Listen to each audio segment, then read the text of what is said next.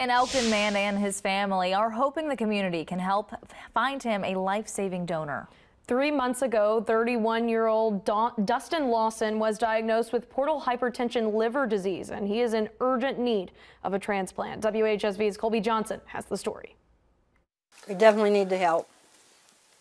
Because it's been hard for Dustin. It's been hard for the whole family. Like I say, it's been really definitely hard for the whole family. But yeah, we tried to do as much as we can with Dusty and doctor's appointments and everything, and it's it's been really stressful.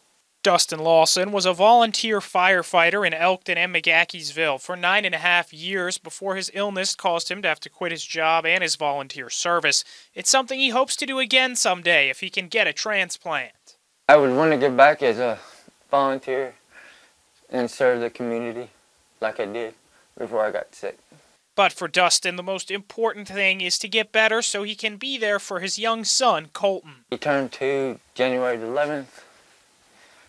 And the reason I want to do the liver transplant is because I want to spend as much time with him as I can and see him grow up and have family with him. Dustin is in need of a donor with type A or O blood for his parents. The past months have been very difficult as there's nothing they can do but wait on a donor for their only child. It's stressful. It puts a lot of stress on you because you're waiting to hear and you sit by the phone. And we haven't heard nothing we yet. haven't heard anything from the doctors or anything. We've seen them and talked to us and everything, yeah. but everything like that, but we haven't heard about the donors yet. Working hard for you, Colby Johnson, WHSV.